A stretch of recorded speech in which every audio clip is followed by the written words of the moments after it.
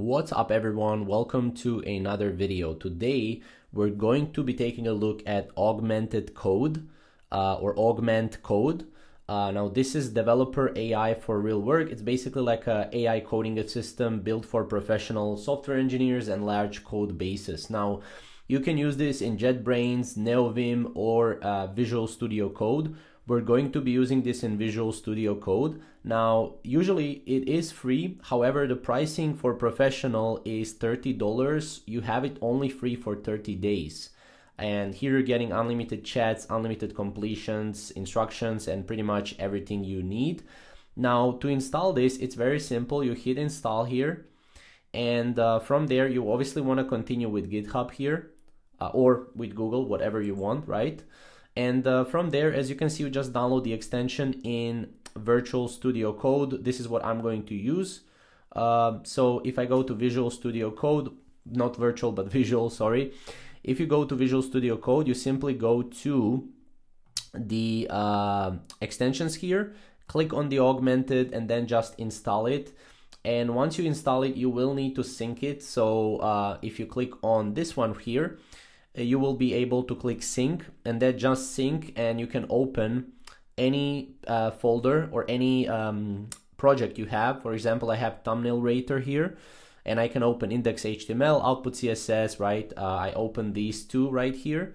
Let me actually open um, output CSS to the side here. So I have these and then I can go to uh, the um, here the augmented code or augment code uh, I don't know why I call it augmented, but uh, and then as you can see, Augment just finished syncing with your code base. Here's a summary of what we saw.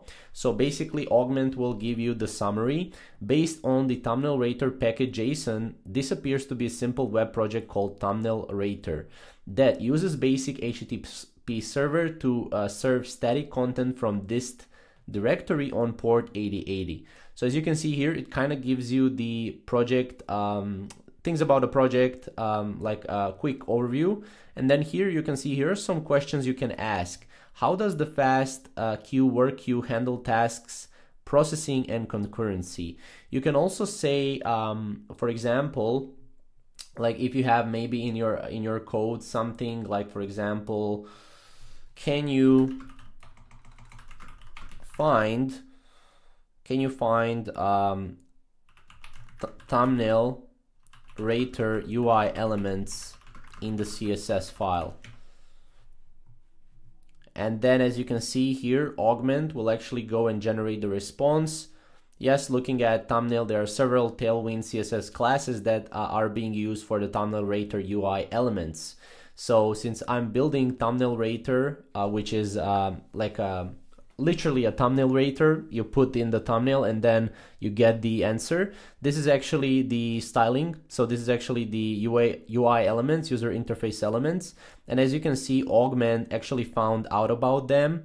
And it also said these classes are used in the HTML to create the main container and layout, the thumbnail uh, upload section, input fields for video title and description, the rate my thumbnail button, and then the results display section and various styling elements like shadows, borders, and spacing. So uh, as you can see, pretty interesting, right? Now, as you can see here, we can see that we are in output CSS. So right now, any instructions we put here, it will be within the uh, output CSS. So for example, I can go here and say, can you change the color of rate my thumbnail button in red, let's say, or in ha a hashtag nine, you know, whatever, like zero zero zero zero, right? And as you can see here, augment will actually go. I'll help you change the color button to black. Uh, it also went in and saw that this is actually black.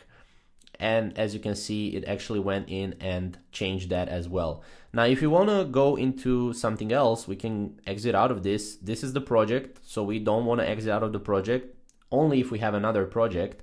Um, but as you can see here, you have actions like you have find, explain, fix, write, test. So for example, we can fix and then we can select the code to fix, for example. We can select this part of the code and as you can see, it selected the code and um, you know here we can enter and then it will go and fix the code.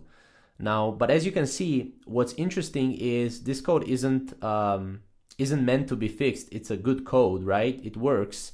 And it says the selected code appears to be correctly formatted um, and doesn't have any issues that needs fixing. It's just valid npm dependency. And then it basically gave uh, this right here. I can copy this and I can paste it right into it as you can see. So again, we go with the selection. So this is how it works, right? You have a project, you have a file, and then you have a part of a selection, which is right here, as you can see right here. So you can also go with context like clear document, documentation, files, you know, default context, recently opened files. We can go here and we can go, for example, this, and then we can say, can you explain what this file is for?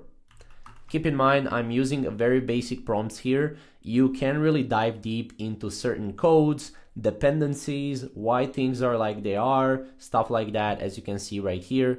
As you can see, file is an important file in Node.js project that serves several key purposes. So this is kind of like your AI coding assistant, kind of like, you know, when you're working in an office with an, uh, you know, a person that is helping you with a code, um, with a, another programmer. This is exactly what augment uh, is about.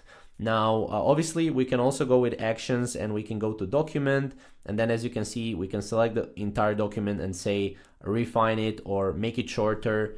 Uh, make, like for example, we can also go here and just add this.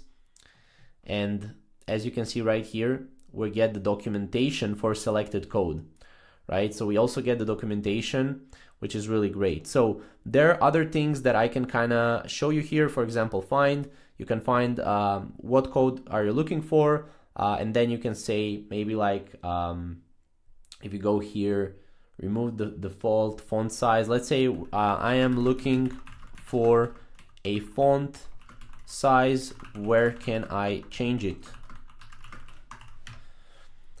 And then as you can see, it will generate the response. And as you can see in Tailwind, if we click here, here we're actually getting um, the default font size R, and then here we're getting the default font size, right? And uh, yeah, you can see here as well, these are some of the like font sizes as well here and borders and stuff like that. Um, but yeah, overall, this is how you can use Augment Code AI.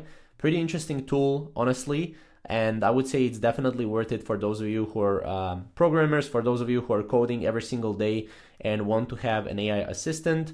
Uh, yeah, definitely check it out, and uh, yeah, we'll see you in the next AI based videos. Thank you guys for watching.